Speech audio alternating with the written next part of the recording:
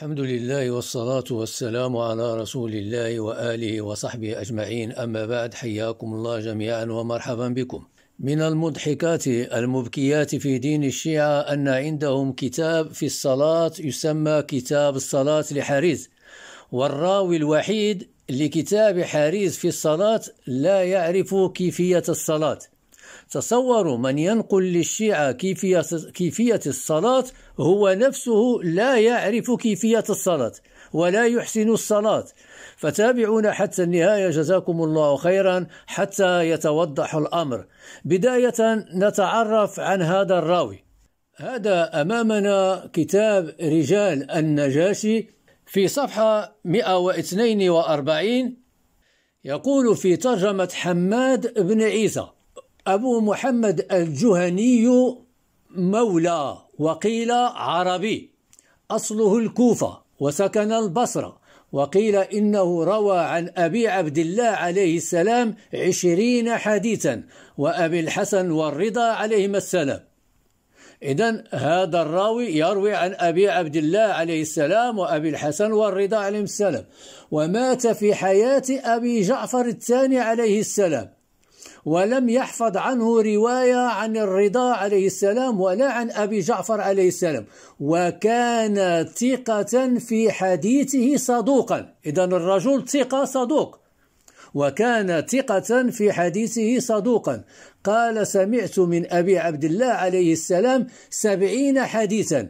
فلم أزل أدخل الشك على نفسي حتى اقتصرت على هذه العشرين. أي الرجل يدقق في الحديث. ولهذا ما رغم أنه سمع سبعين حديثا إلا أنه لم يروي عنه إلا عشرين حديثا. فلم أزل أدخل الشك على نفسي حتى اقتصرت على هذه العشرين.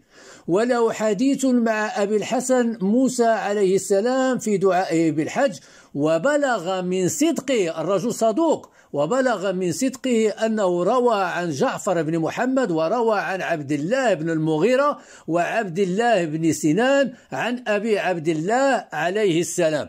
إذا الراوي حماد بن عيسى من أصحاب الإمام الصادق ويروي عنه وهو ثقة صدوق بل بلغ من صدقه أنه روى عن جعفر بن محمد وروى عن عبد الله بن المغيرة وعبد الله بن سنان عن أبي عبد الله. إذا هذا من رواة الإمامية وثقة صدوق. نذهب الآن لكتاب الصلاة لحارس هذا أمامنا كتاب معجم رجال الحديث وتفصيل طبقات الرواة لأبو القاسم المسوي الخوئي في الكتاب الخامس. يقول في ترجمة 2645 حريز بن عبد الله قال النجاشي حريز بن عبد الله السجستاني أبو محمد الأزدي إلى إلى أن يقول له كتاب الصلاة كبير وآخر ألطف منه وله كتاب النوادر. فأما الكبير فقرأناه على القاضي أبي الحسين بن محمد بن عثمان. إلى أن يقول قرأ على فلان قرأ على فلان إلى أن يقول قرأت على حماد بن عيسى. قرأت على حماد بن عيسى. قال قرأت على حريز. إذا الراوي الوحيد لكتاب حريز في الصلاة هو الراوي حماد بن عيسى هذا. إذا الراوي الوحيد لكتاب الصلاة لحريز هو حماد بن عيسى. فأحكام الصلاة عند الشيعة وآدابها وواجباتها وموانعها توجد في كتاب حريز. والراوي الوحيد لكتاب حريز هو هذا الراوي حماد بن عيسى فهو الذي ينقل للشيعة أحكام الصلاة وفروضها. لكن المصيبة والمضحكة والمسخرة هو أن هذا الراوي لا يعرف كيفية الصلاة لا يعرف كيف يصلي ولا يحسن الصلاة وهو كبير في السن. تصوروا من يعلمهم الصلاة لا يعرف كيف يصلي.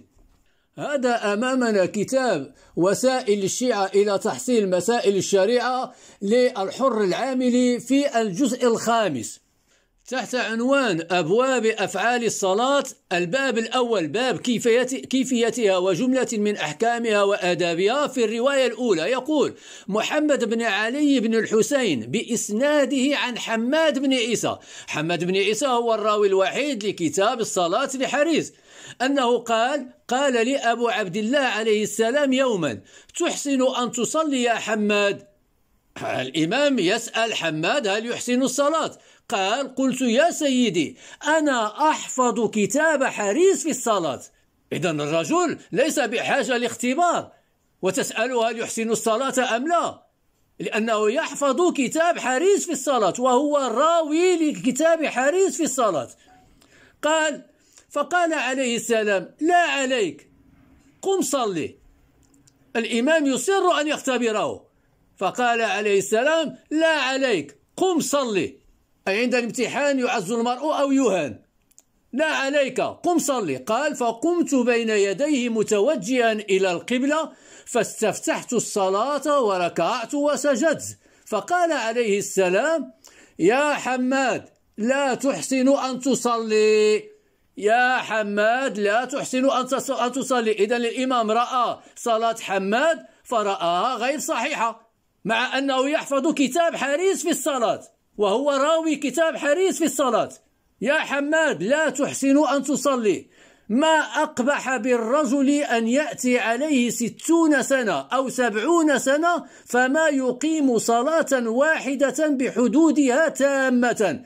إذا إذا هذا الراوي حماد بن عيسى كان كبير في السن ولا يحسن الصلاة.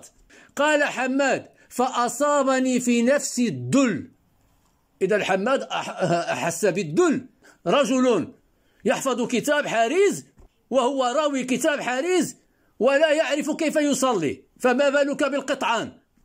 فقلت جعلت فداك فعلني من الصلاة.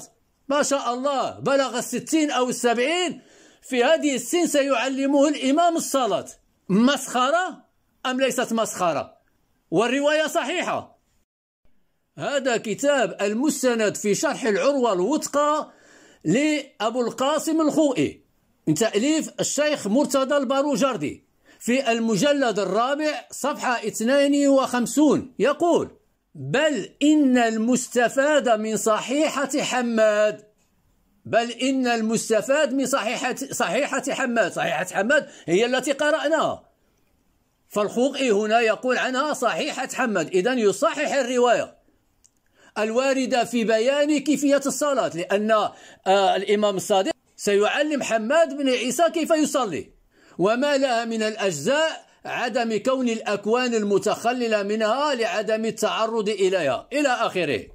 إذا حماد بن عيسى من أصحاب الإمام ومن رواة الإمامية وهو الراوي الوحيد لكتاب حريز في الصلاة وهو لا يعرف كيفية الصلاة رغم أنه قال أنه يحفظ كتاب حريز في الصلاة وكتاب حريز فيه أحكام الصلاة وأداب الصلاة وواجبات الصلاة وموانع الصلاة والراوي الواحد لهذا الكتاب لا يعرف أحكام الصلاة ولا أداب الصلاة ولا موانع الصلاة ولا واجبات الصلاة رغم أنه كبير في السن ويحفظ كتاب حريز ولما صلى أمام الإمام طلعت صلاته باطلة.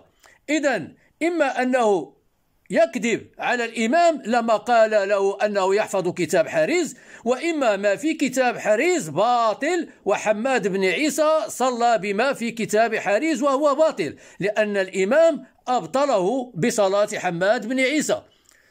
نكتفي بهذا القدر والسلام عليكم ورحمة الله تعالى وبركاته.